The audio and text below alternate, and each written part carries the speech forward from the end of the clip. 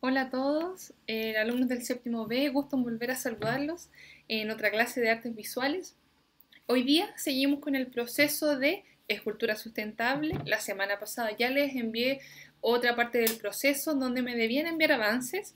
Eh, he recibido varios. Felicito los avances que, me, eh, que he recibido. Eh, solicitar que vayan trabajando de manera paulatina, sistemática, que vaya siendo de clase a clase para que vayan avanzando y no se vean justo con los tiempos después. Importante también que no lo hagan rápido, que no lo hagan por entregar, por eso tenemos cuatro semanas en el proceso Así que importante que hoy día también me envíen sus avances.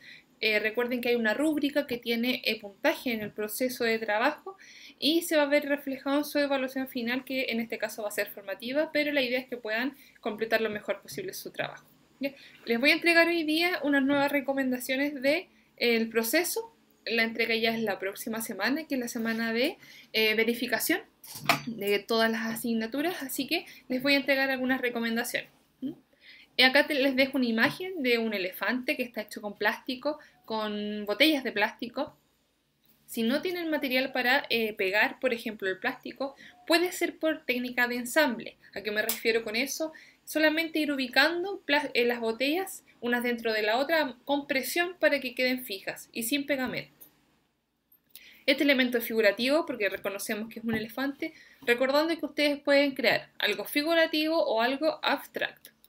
Seguimos con nuestro objetivo de la clase de la primera, desde la primera clase que tiene que ver con experimentar con materiales sustentables en, el formato de escultura, en el formato de volumen. Y les dejo también esta imagen de otra obra. Pueden tomarlas como referente, las pueden ocupar, pueden copiar la idea, pero la idea también es que la puedan modificar en algunos aspectos. Acá tenemos una obra de alambres y tapas de bebidas, tapas de vidrio. En vez de alambre pueden utilizar otra cosa, ustedes pueden ir variando. Y repetimos de qué se trata la actividad, la elaboración de una escultura. El propósito tiene que tener un propósito, le tienen que designar algún tema, la naturaleza, la figura humana, en lo que ustedes, un, sentimiento puede ser también, ustedes definen ese tema. La obra puede ser figurativo abstracto, los materiales los, seleccionan ustedes acorde a lo que tengan en casa. Em, pueden ser algunos elementos de reciclado y otros de materiales no reciclados, pero la idea es que tenga eh, la mayor cantidad de material reciclado. Pueden incorporar otras materialidades, ustedes seleccionan el mecanismo de trabajo de adhesivo y un mínimo de 20 centímetros de alto. Recuerden que si yo voy girando mi obra se debe notar por todos lados que tiene volumen. Les dejo otra imagen que aquí aparece una ranita que no es necesario que sea verde, puede ser de cualquier color, porque la idea es que mantengamos el color original de mi objeto reciclado para saber cuál es el material. ¿ya?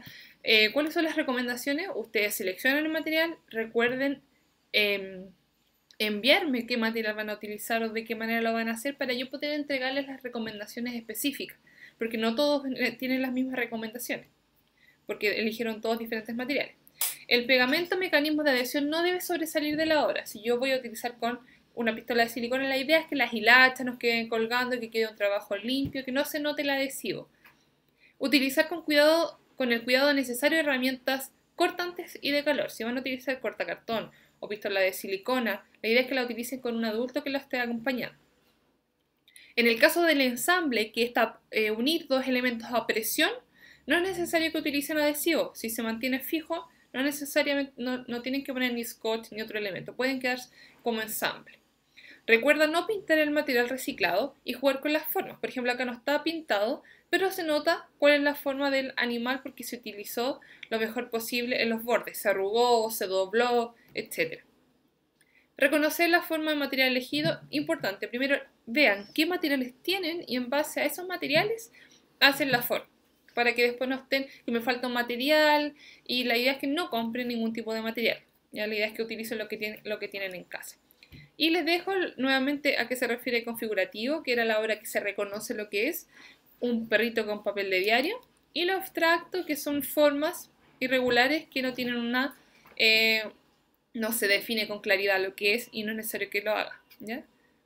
Les dejo nuevamente la rúbrica, recordarles que aquí el trabajo en clase eh, va el puntaje a los avances que ustedes me envíen clase a clase.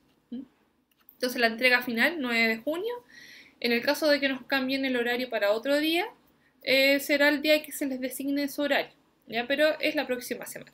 Es importante que hoy día me envíen avances del trabajo. Y les dejo nuevamente links de apoyo que no son los mismos de la semana pasada, así que revíselo para que eh, tengan algunas nuevas ideas o si no, fluye el trabajo y no, no, no van encontrando las formas que ustedes quieran. ¿ya? Les dejo un abrazo, aquí nuevamente mis datos y cualquier consulta me la hacen llegar.